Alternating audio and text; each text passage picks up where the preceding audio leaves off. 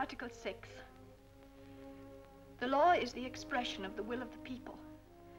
All citizens have the right to assist personally or through their elected representatives in its formation. It ought to be the same for all, whether it protects or whether it punishes.